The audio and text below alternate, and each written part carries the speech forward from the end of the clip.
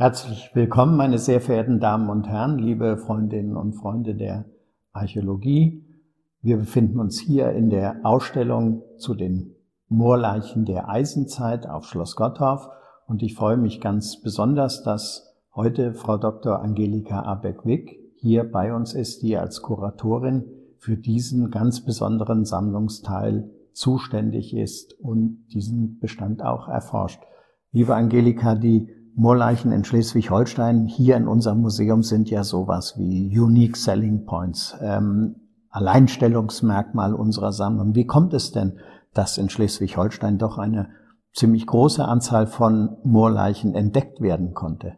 Ja, es ist schon seit dem 19. Jahrhundert so, dass wir dort die ersten Funde erhalten haben hier in unserem Museum. Wir können also wirklich sagen, dieses Jahr 2021 haben wir 150 Jahre Jubiläum ähm, erforschen, sammeln und bewahren der Moorleichen. Die erste wurde 1871 in einem Moor bei Rinswüren entdeckt, eine männliche Moorleiche. Und die weiteren Funde kamen dann zutage bis etwa 1960. Ähm, die Moorleichen in Schleswig-Holstein stammen ja aus Mooren, sonst würden sie ja nicht Moorleichen heißen. Bedingen das die, die Moore denn, dass diese Körper überhaupt erhalten bleiben? Ähm, ist das nicht gebunden an den Naturraum bei uns, dass wir eben gerade in Schleswig-Holstein so eine große Anzahl haben? Also Schleswig-Holstein zeichnet sich ja aus durch eine Vielzahl an Mooren.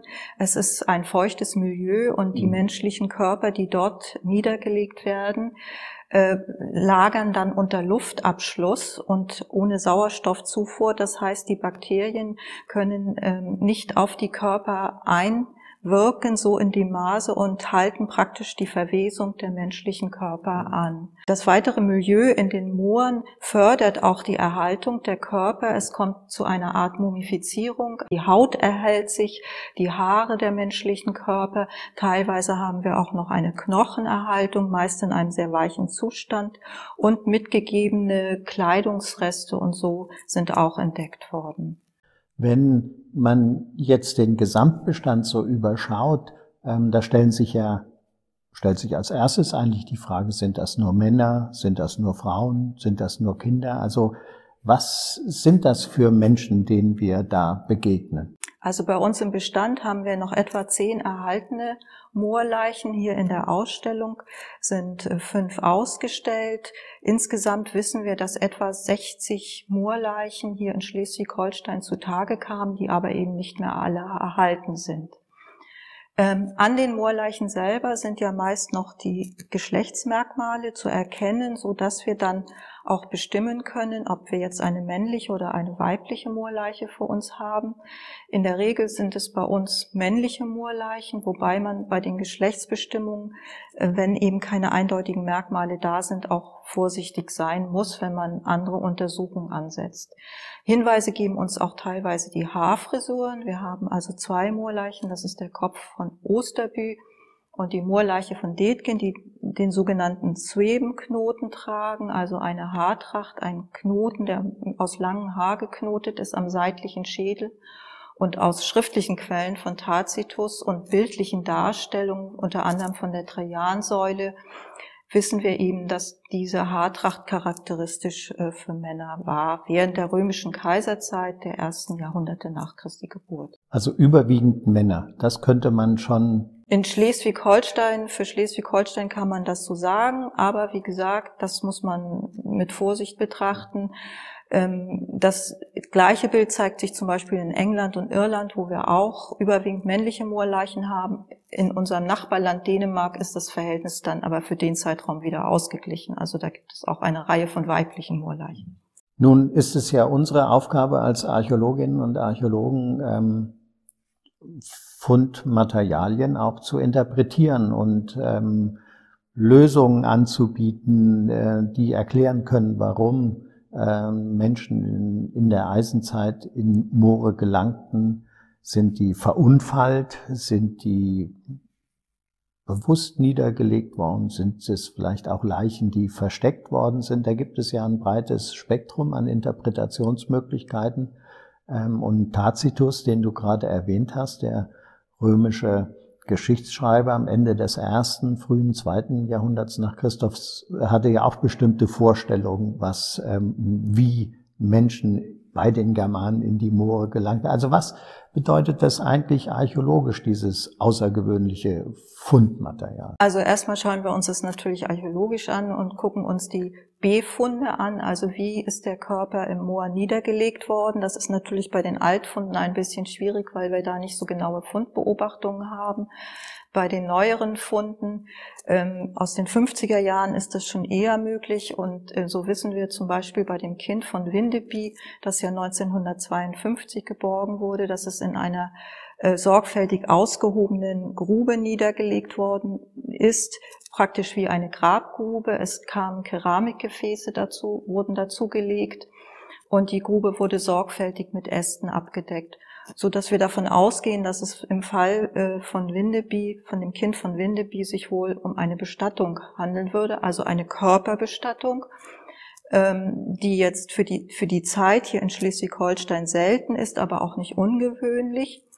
Ähm, bei den anderen Moorleichen haben wir teilweise Hinweise auf eine gewaltsame Tötung. Das ist natürlich der Schädel von Osterbü. Da ist ja ganz bewusst äh, der Schädel von dem Körper abgetrennt worden. Gleich ist im Fall von Detgen der Fall.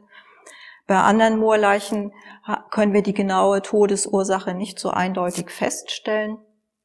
Und ähm, warum diese Körper dann in das Moor gelangt sind, da gibt es eben dann verschiedene Erklärungsmöglichkeiten. Das können natürlich im Rahmen von Opferhandlungen niedergelegte Menschen sein. Es können aber auch eben durch Unfall oder durch Verbrechen, dass die Menschen ein Verbrechen begangen haben, bestraft wurden und dann praktisch abseitig der normalen Bestattungsplätze deponiert wurden. Denn diese Moorleichen sind in der Regel Einzelfunde, also dadurch unterscheiden sie sich ja auch von der zu der Zeit in Schleswig-Holstein herrschenden regulären Bestattungssitte, wo eben die Toten auf großen Urnengräberfeldern bestattet wurden. Also es ist schon so eine Art Sonderbestattung oder aber ein Opfer, aber endgültig werden wir es dann wohl nie so klären können. Aber das bedeutet, es gibt überhaupt kein eindeutiges eindimensionales Bild in der Erklärung, sondern der Zustand der Körper, die Auffindungsbedingungen, ähm, das Umfeld muss genau analysiert werden und in unterschiedliche Richtungen dann eben ausinterpretiert worden. Also ähm, äh, das ist natürlich ein super spannendes Thema für jede Art von archäologischer archäologischer Forschung. Genau, das macht es uns für uns Archäologen natürlich diese menschlichen Überreste so spannend.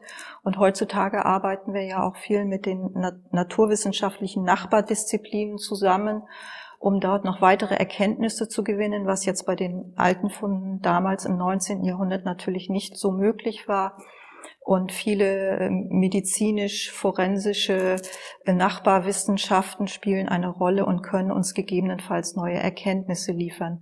Auf der anderen Seite macht das natürlich die, die Moorleichen auch für äh, unser Besucherpublikum äh, so spannend. Ähm, viele Dinge können sie erfahren zu den Moorleichen, zu Einzelschicksalen, aber eben auch, wie man solche Funde untersucht. Hm. Du hast gerade unsere Gäste angesprochen. Für viele Menschen, die äh, diese Ausstellung hier besuchen, wird ja vielleicht das das allererste Mal sein, dass sie einen solchen toten Körper in so einem fast vollständigen Zustand sehen können. Für viele vielleicht auch das letzte Mal. Tod wird ja auch ein bisschen ausgeblendet äh, in unserer heutigen kulturellen Situation.